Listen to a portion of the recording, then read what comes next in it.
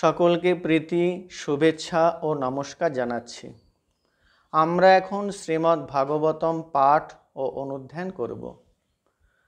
বংশী বিভূষিত করাদ নবনীরোদাভাত, পীতাম্বরাদ অরুণ বিম্ব ফলাধরোষ্ঠাৎ পূর্ণেন্দু সুন্দর মুখাদ কৃষ্ণাৎ পরম কিমপি তত্ত্বমহম ন জানে। প্রদীপ জ্বালানোর পূর্বে যেমন সলতে পাকানোর একটা পর্ব থাকে, তেমনি ভাগবতে প্রবেশের পূর্বে সনাতন ধর্মের অঙ্গনে ভাগবতের অবস্থান কোথায় তা বোঝার চেষ্টা আমরা করব। তারপর ভাগবতের প্রবেশদ্বারে উপস্থিত হব। সনাতন ধর্মের অঙ্গনে বেদ, অনাদি অনন্ত স্বতঃস্ফূর্ত জ্ঞানরাশি এই বেদ। বেদ ভারত সংস্কৃতির মুকুট স্বরূপ। বেদ বেদান্তের এক একটি ভাবনা যেন কোহিনুর হীরার মতো মূল্যবান। বেদকে বলা হয় অপৌরুষেয়। অর্থাৎ কোনো মানুষের দ্বারা এর সৃষ্টি নয়। ঋষিরা, তারা স্রষ্টা নয়, তারা দ্রষ্টা মাত্র। তাদের নির্মল হৃদয়ে যে ধ্যান, লব্ধ, সত্য উদ্ভাসিত হয়েছিল, তাই বেদের সত্য বা তত্ত্বরূপে প্রচারিত। স্বামী বিবেকানন্দ তিনিও মন্ত্র দর্শন করেছিলেন। আমাদের দেশে যারা সনাতন ধর্মের অনুরাগী, তাদের কাছে বেদ খুব গুরুত্বপূর্ণ। যারা বেদ মানে না, তারা নাস্তিক। বেদের প্রথম যুগে কর্মকাণ্ডই ছিল জীবনের লক্ষ্য পূরণের হাতিয়ার। যাগ, যজ্ঞ প্রভৃতির মধ্য দিয়ে ইহলৌকিক এবং পারলৌকিক বাসনা পূরণের চেষ্টা তারা করত এবং মনে করত এটাই জীবনের সব।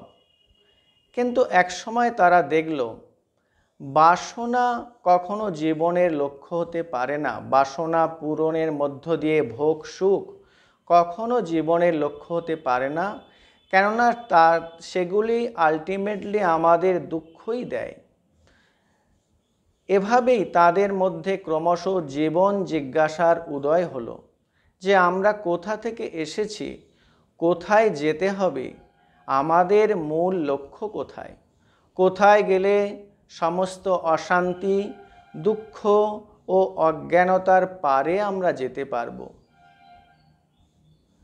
তখন তারা নিজের মধ্যে সেই সত্য খোঁজার চেষ্টা করল। গানে আছে, আপনাকে এই জানা আমার ফুরাবে না, সেই জানারই সঙ্গে সঙ্গে তোমায় চেনা। আমরা যখন নিজেকে জানব, তখন সর্বভূতে পরিব্যাপ্ত সেই ব্রহ্মকেও জানতে পারব। তাই উপনিষদ শিক্ষা দেন, আত্মানম বৃদ্ধি, নিজেকে জানো। গুরু তার শিষ্যকে বলেন স্বরূপ চিনিয়ে দেন তত্তম ওসি তুমি সেই। আর শিষ্যও ধ্যানের গভীরে গিয়ে বোধ করতে পারে, বোধ করে, বোধে বোধ করে, অহম ব্রহ্মাস্মি। এবং সর্বম খলু ইদম ব্রহ্ম। সর্বভূতে সেই এক সত্য বিরাজিত বুঝতে পারে। আর এভাবেই তার জীবনের সমস্ত চাওয়া পাওয়ার শেষ হয়। সনাতন ধর্মে প্রস্থান ত্রয় আছে। প্রস্থান ত্রয় মানে হচ্ছে তিনটি প্রস্থান বা পথ। আমরা যদি কোনো কিছুকে প্রমাণ করতে চাই, এই তিনটি প্রস্থানের সাহায্য নিতে হয়। শ্রুতি প্রস্থান বা উপনিষদ স্মৃতি প্রস্থান বা গীতা আর ন্যায় প্রস্থান বা ব্রহ্মসূত্র।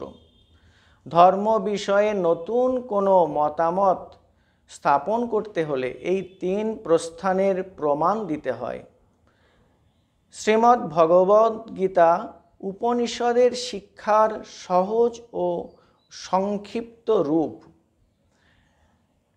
গীতার ধ্যান মন্ত্রে বলা হয়েছে, সর্বোপনিষদ গাব দগ্ধা গোপাল নন্দন পার্থ বৎস সুধীর ভোক্তা দুগ্ধম গীতামৃতং মহৎ। এখানে বলা হচ্ছে যে উপনিষদগুলি যেন গাভী আর তার দোহনকর্তা ভগবান শ্রীকৃষ্ণ আর গীতার যেন সেই অমৃতপ্রদ দুগ্ধ। ভগবদ্গীতা বেদান্তের সার, বেদান্তের ফলিত রূপ সর্বশাস্ত্রময়ী। আমরা তারপরে দেখি পুরাণের প্রচলন হচ্ছে। পুরাণ রচনা করা হচ্ছে আমাদের দেশে। কেন পুরাণ রচনা করা হলো? না সাধারণের কাছে বেদের তত্ত্ব প্রকাশিত নয়। বেদের তত্ত্ব এত শক্ত, এত কঠিন, সাধারণে বুঝতে পারে না। তাই ইতিহাস আর উপাখ্যানের মাধ্যমে বিভিন্ন চরিত্রের মধ্য দিয়ে এখানে বেদান্তের তত্ত্বই উপস্থাপিত হচ্ছে। ঋষি, মহাপুরুষ, অবতার, ভক্ত ও মহিষীদের জীবন শিক্ষাকে অবলম্বন করে বেদান্তের তত্ত্বকে সাধারণভাবে পরিবেশন করা এখানে প্রচে প্রয়াস করা হয়েছে। আর তারপর আমরা পাই শ্রীমৎ ভাগবতম, যেটি কিনা বেদান্তের রসভাষ্য বলে পরিচিত।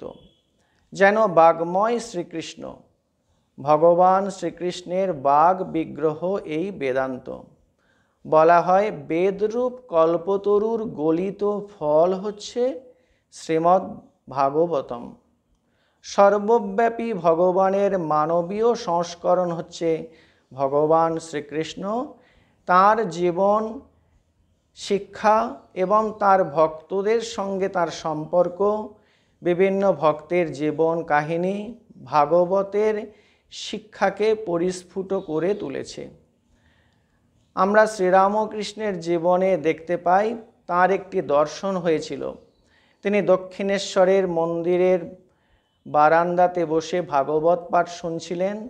হঠাৎ তিনি দেখলেন, ভগবান শ্রীকৃষ্ণের পাদ পদ্ম থেকে একটি জ্যোতির রশি বেরিয়ে আসছে। সেটি এসে ভাগবত গ্রন্থ স্পর্শ করছে এবং তারপর তার নিজের হৃদয়ে মিলিয়ে যাচ্ছে। এতেই তার সিদ্ধান্ত হল, ভাগবত ভক্ত ভগবান তিনে এক, একে তিন।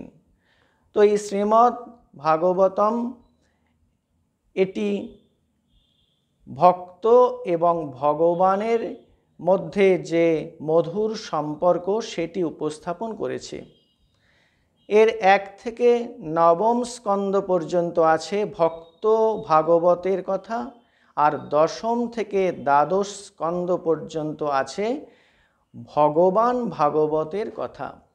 চৈতন্য চরিতামৃতে বলা হয়েছে, এক ভাগবত হয় ভাগবত শাস্ত্র আর ভাগবত ভক্ত ভক্তি রসপাত্র।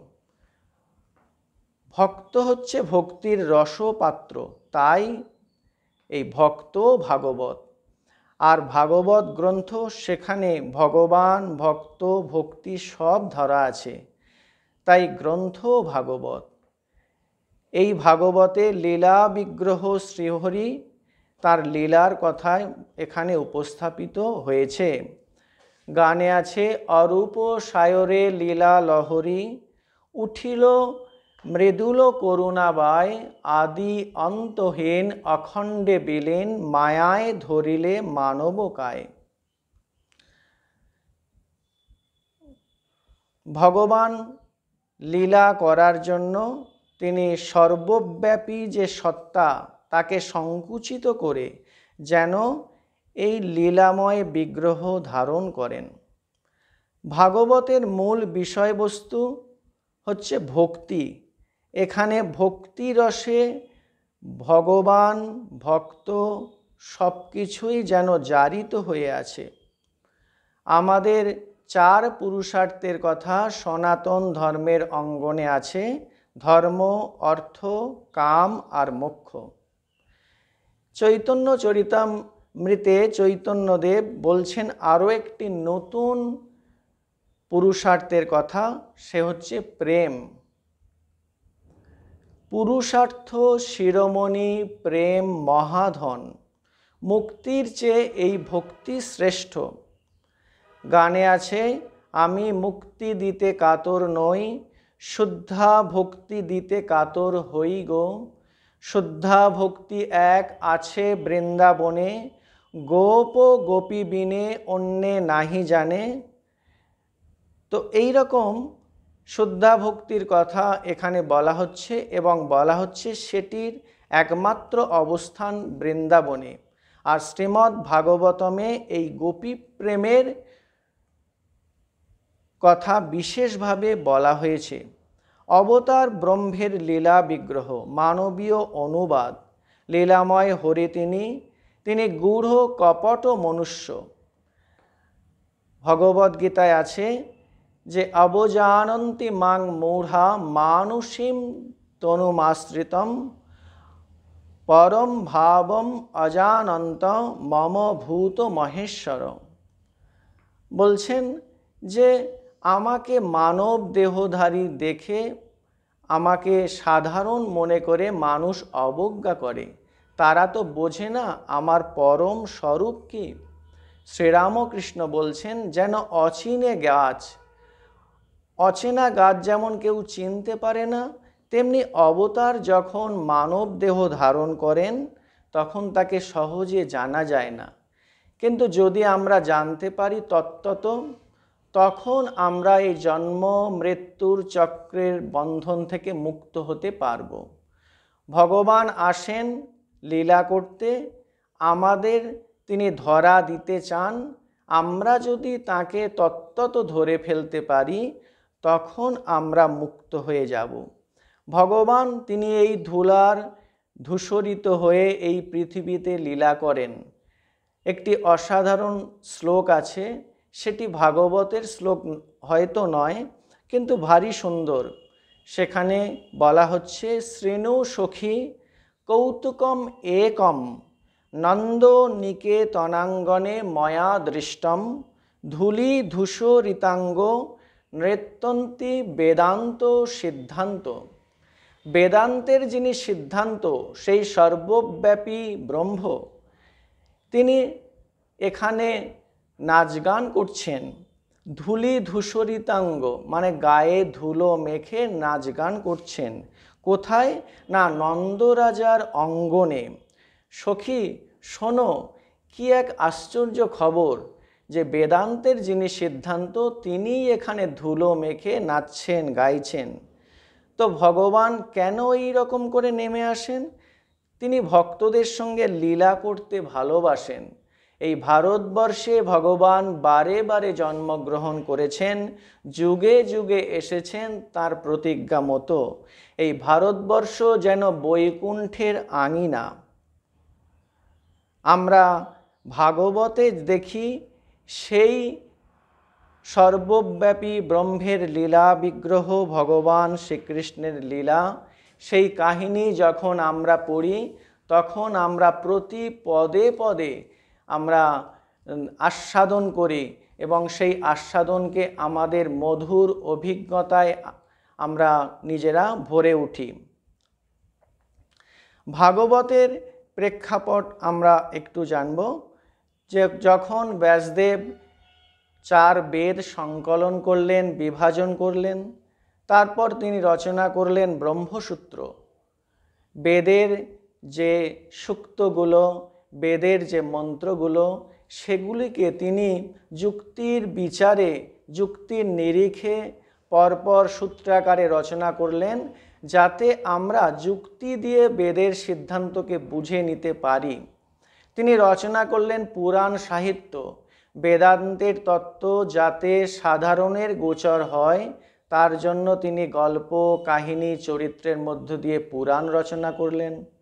কিন্তু এত করেও ব্যাসের মন অশান্ত বিষণ্ন অতৃপ্ত, শুষ্ক।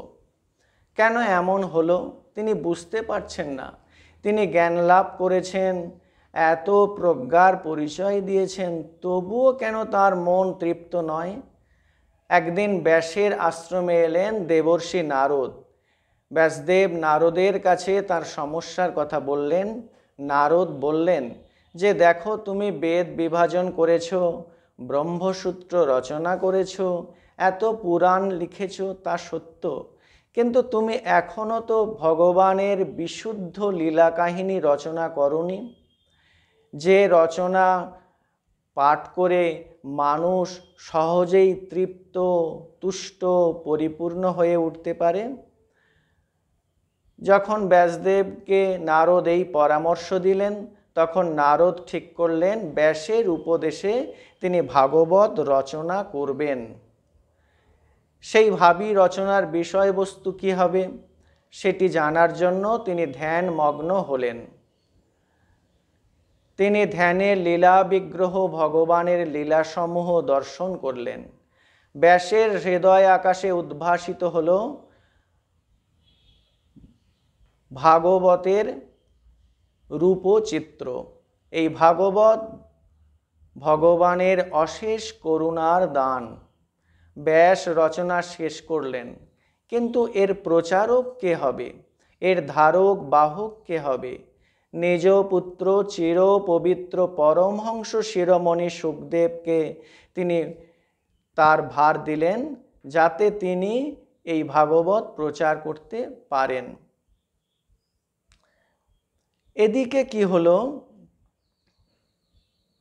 অভিমন্যুর পুত্র পরীক্ষিত, তিনি ধার্মিক রাজা।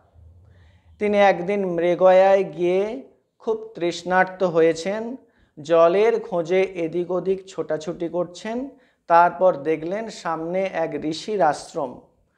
সেখানে প্রবেশ করে দেখলেন ঋষি ধ্যানে মগ্ন, তিনি ঋষিকে অনেক করে ডাকলেন এবং জল প্রার্থনা করলেন। ঋষি ধ্যানে এতটাই বিভোর কিছুই শুনতে পেলেন না। কিন্তু রাজা ভাবলেন ঋষি তাকে অবজ্ঞা করছে। তাই একটি মরা সাপ সেই রাজ, সেই ঋষির গলায় তিনি জড়িয়ে দিলেন। এই ঘটনা যখন ঋষির বালক পুত্র জানল, তখন সেই বালক পুত্র শৃঙ্গী অভিশাপ দিলেন, যিনি আমার বাবাকে এভাবে অপমান করেছেন তার সাত দিনের মধ্যে মৃত্যু হবে, সর্বদংশনে। এদিকে রাজা ফিরে এলেন, রাজা তো ধার্মিক মানুষ, যখন প্রকৃতিস্থ হলেন, তিনি বুঝলেন তিনি কত বড় অপরাধ করেছেন এই ঋষির কাছে এবং ভাবলেন যে এ অপরাধের একটা শাস্তি হওয়া খুব দরকার। এই রকম ঘৃণ্য অপরাধ তিনি করে ফেলেছেন, এর প্রায়শ্চিত্ত হওয়ার দরকার। ইতিমধ্যে তার কাছে খবর এলো সেই শৃঙ্গী যে ঋষিপুত্র, তার অভিশাপের কথা, রাজা এই অভিশাপকে কিন্তু সাদরে বরণ করে নিলেন আর তিনি মৃত্যুর জন্য প্রস্তুত হলেন। তিনি একটুও হা হুতাশ করলেন না, একটুও বিষণ্ন হলেন না। তিনি একেবারে তার শেষ যাত্রার জন্য প্রস্তুতি নিলেন, গঙ্গা তীরে প্রায়োপবেশন করলেন। গঙ্গার তীরে তিনি আছেন অনেক ঋষি মহাপুরুষ মুনিরা সমবেত হয়েছেন। কেননা রাজা তো ধার্মিক রাজা, হয়তো একটু ভুল করে ফেলেছেন। তবুও তার জন্য তো তাকে ত্যাগ করা যায় না, সবাই এসেছেন। রাজা প্রত্যেকের কাছে জিজ্ঞাসা করছেন, কেমনভাবে তিনি এই সাতটি দিন সর্বোত্তমভাবে যাপন করতে পারবেন এবং যাতে তিনি সেই সর্বব্যাপী ভগবানের সান্নিধ্য সুখ অনুভব করতে পারেন।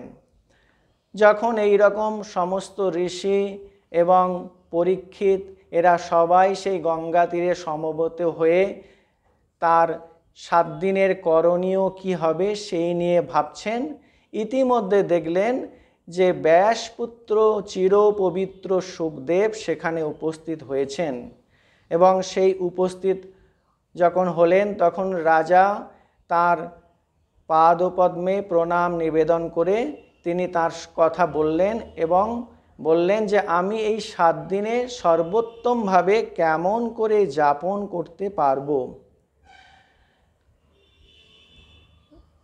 তখন সুখদেব বললেন যে, ভগবানের চিন্তা করা কন্টিনিউ ভগবানের অনুধ্যান করাই হচ্ছে সর্বোত্তম উপায়, যাতে আপনি সেই ভগবানের পাদ পদ্মে আপনার চিত্তকে নিবেদন করতে পারেন, সেই চেষ্টাই আপনাকে করতে হবে। কথায় বলে যে অন্তে নারায়ণ স্মৃতি, কেনাপি উপায়েন মনক কৃষ্ণ নিবেশয়েত, যে কোনোভাবেই হোক আমাদের মনটাকে সেই ভগবান শ্রীকৃষ্ণের পাদপদ্মে নিবেদন করতে হবে। এই আমাদের জীবনের উদ্দেশ্য। সেই কথাই সুখদেব বললেন, এবং তিনি ভগবানের কথা ভগবত প্রসঙ্গের কথা বলতে শুরু করলেন। আমরা দেখতে পাই, একটি অসাধারণ সঙ্গীতে আছে, সেখানে বলা হচ্ছে যে, যোগে জাগে কিবা ফল, রামকৃষ্ণ মুখে বল, অনায়াসে করে পাবি চতুর্বর্গ ফল। দাও নামে রতি, পদে মতি, অন্য রত্ন নাহি চাই। তো যে কোনোভাবে আমরা ভগবানের নামে, ভগবানের রূপে, ভগবানের চিন্তায় যদি আমার মনটাকে নিবেদন করতে পারি, তাহলেই আমাদের জীবন ধন্য হবে। তো এখন যখন ভগবান শ্রীকৃষ্ণ চলে গেলেন তিনি ইহধাম ত্যাগ করে স্বধামে প্রস্থান করলেন। তখন নৈমিষারণ্যের ষাট হাজার মুনি মিলিত হয়েছেন একটি যজ্ঞ উপলক্ষে এবং তারা ভাবছেন শ্রীকৃষ্ণ অন্তর্ধান করেছেন। জ্ঞানের আলো, ধর্মের আলো তো অস্তমিত হয়েছে। এখন উপায় কি? কে দেবে এই আলোর সন্ধান? প্রসঙ্গত সুত, প্রসঙ্গত আমরা দেখতে পাই যে সেখানে বলা হচ্ছে ভাগবতে, ভাগবত পুরাণ হচ্ছে সেই সূর্য। শ্রীকৃষ্ণের পরিবর্তে এই ভাগবত সূর্যই আমাদেরকে ধর্মের সন্ধান, জ্ঞানের আলো দেওয়ার জন্য একেবারে উপযুক্ত। এ যেন পরিবর্তিত শ্রীকৃষ্ণ, ভাগবত শ্রীকৃষ্ণের বাগ্ময় মূর্তি। তো আমরা দেখি এই ভাগবতে আছে ভাগবত ধর্মের কথা। ভাগবত ধর্ম কি? না, ভগবান স্বয়ং যখন সহজ সরলভাবে তাকে পাবার উপায় বলে চলেন, সেটাই হচ্ছে ভাগবত ধর্ম। এই হিসাবে আমরা দেখতে পাই, ভগবত গীতার ধর্ম ভাগবত ধর্ম, শ্রীমদ্ ভাগবতমের ধর্ম ভাগবত ধর্ম শ্রী শ্রী রামকৃষ্ণ কথামৃতের ধর্ম, ভাগবত ধর্ম।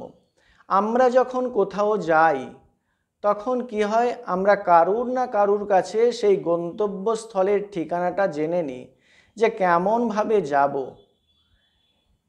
কিন্তু সেই রকম জানার ক্ষেত্রে অনেক ভুল হতে পারে, অনেক বিতর্ক থাকতে পারে। আমরা একজনকে জিজ্ঞেস করলাম, সে এমন রকম করে যেতে বলল? আর একজনকে জিজ্ঞেস করলাম, সে ঠিক উল্টোভাবে বলল যে এরকম করে যান যদি জনকে জিজ্ঞেস করি জনের মতোই আমরা উত্তর পাই, কিন্তু তখন আমরা ধন্দে পড়ে যাই যে কোন পথ অনুসরণ করব। কিন্তু যদি এমন হয়, যিনি বলছেন, তার বাড়িতেই আমি যাচ্ছি, যেখানে আমি যেতে চাই সেই বাড়ির কেউ আমাকে বলছেন, সেখানে যাবার খবর। তাহলে আর কোনো সন্দেহ থাকে না। আর যদি এমন হয়, যেখানে যাব, সেই বাড়ির কেউ আমাকে সঙ্গে করে নিয়ে যায়, তাহলে তো কোনো সন্দেহই থাকে না। আমরা নির্বিঘ্নে, নিরাপদে, কোনো রকমের সংশয় না রেখে সেখানে পৌঁছে যেতে পারি। তো ভাগবত ধর্মে ভগবান স্বয়ং বক্তা, তিনি বলছেন, তার কাছে আমরা কেমন করে যাব? এবং শুধু তাই নয়, তিনি তার স্বধামে নিয়ে যাবার জন্য তিনি এই মর্তলোকে আবির্ভূত হয়েছেন এবং আমরা যাতে তার সঙ্গে তার স্বধামে যেতে পারি। গানে আছে, আমার হাত ধরে তুমি নিয়ে চলো সখা, আমি যে পথ চিনি না। তোমারই উপর করিনু নির্ভর, তোমা বই কিছু জানি না। তো ভগবান মানুষের সখা, মানুষের চিরকালের বন্ধু, একমাত্র নির্ভরযোগ্য বন্ধু। তিনি এসেছেন তার স্বধামে আমাদের নিয়ে যাওয়ার জন্য, যুগে যুগে, কখনো শ্রীকৃষ্ণ রূপে কখনো রামচন্দ্র রূপে, কখনো গৌরাঙ্গ মহাপ্রভু রূপে, কখনো বা শ্রীরামকৃষ্ণ রূপে। তো এই যে এসেছেন এবং সহজ পথ তিনি বলে দিয়েছেন, এই ভাগবতের পদ সহজতম পথ, এত সহজ পদ যে চোখ বন্ধ করেও ভরসা করা যায়, সহজেই এগোনো যায়, এখানে পতনের কোনো ভয় নেই। আমরা যে কোনোভাবে হোক যে কোনোভাবে তার কথা ভাবলে, তার চিন্তা করলে, তার নাম গুণগান করলে, তার কাছে পৌঁছানোর পথ পেয়ে যাব। ভাগবত শিক্ষা দিচ্ছেন নবদা ভক্তির শিক্ষা। এই ভক্তি ধর্মের অদ্ভুত একটি লক্ষণ, এখানে পথ আর লক্ষ্য একই। ভক্তি লক্ষ্য, আবার ভক্তি পথ। বলা হয় সাধ্য এবং সাধন। যেটা পেতে চাই, সেই গোলকে বলা হয় সাধ্য। আর যে পথ ধরে আমরা পেতে চাই, যে উপায়ের মধ্য দিয়ে আমরা পেতে চাই, তাকে বলা হয় সাধন। তো ভক্তি ধর্মের সাধ্য যা, সাধন তাই। লক্ষ্য হচ্ছে পরা ভক্তি লাভ, পরা জ্ঞান লাভ বা শুদ্ধা ভক্তি লাভ। আর সাধন হচ্ছে গৌণী বা বিধিবাদীয় ভক্তি। আমরা নানাভাবে, নানা উপায় অবলম্বন করে সেই প্রকৃত ভক্তি লাভের চেষ্টা করব। সাধারণ বিধিবাদীয় ভক্তির পথ ধরে প্রকৃত ভক্তি লাভ করা। আমরা সেখানে পাই নবদা ভক্তির কথা। ভক্তরাজ প্রহ্লাদ, তিনি এই নবদা ভক্তির শিক্ষা শ্রীমদ্ ভাগবতমে দিয়েছে। সেখানে বলা হচ্ছে, শ্রবণম কীর্তনম বিষ্ণু, স্মরণম পাদ সেবনম, অর্চনম বন্দনম দাস্যম, সক্ষম আত্মনিবেদনম। ইতির পুংসার্পিত বিষ্ণু ভক্তিশ্চেত নবলক্ষণা। বলছেন, এই শ্রবণ ভগবানের নাম বা তাঁর লীলা শ্রবণ, ভগবানের নাম বা তার লীলা বা রূপের কীর্তন ভগবানকে স্মরণ করা, ভগবানের পাদপদ্ম সেবন করা, তাকে অর্চনা করা, পুজো করা, তাকে স্তব স্তুতির মধ্য দিয়ে বন্দনা করা। আর তিনি আমরা তার দাস, তিনি আমাদের প্রভু। এই মনোভাব নিয়ে আমার, আমরা তাকে সেবা করব। তার সঙ্গে বন্ধুত্বের বন্ধনে আবদ্ধ হব। আমরা সক্ষ তা লাভ করব এবং এরপরে আমরা নিজেকে পরিপূর্ণভাবে নিবেদন করব। আমরা অনেক সময় ভগবানের উদ্দেশ্যে ফুল, ফল নিবেদন করি, কিন্তু ফুল, ফল নয়, নিজেকেই পরিপূর্ণরূপে আমরা যখন ভগবানের পাদপদ্মে নিবেদন করতে পারি, তখন এই নবদা ভক্তির একেবারে চরমতম ধাপে আমরা পৌঁছে গেছি বলতে হবে তো সেইটি আমাদের দরকার যে আমরা যেন আমাদের সমস্ত সত্তাটাকে ভগবানের পাদপদ্মে চির নিবেদন করতে পারি। তো আজকের এই পর্যন্ত। জয়তু জয়তু দেব, দেবকী নন্দনয়ম। জয়তু জয়তু কৃষ্ণ বৃষ্ণি বংশ প্রদীপ জয়তু জয়তু মেঘ শ্যামল কোমলাঙ্গ জয়তু জয়তু পৃথিভার নাশ মুকুন্দ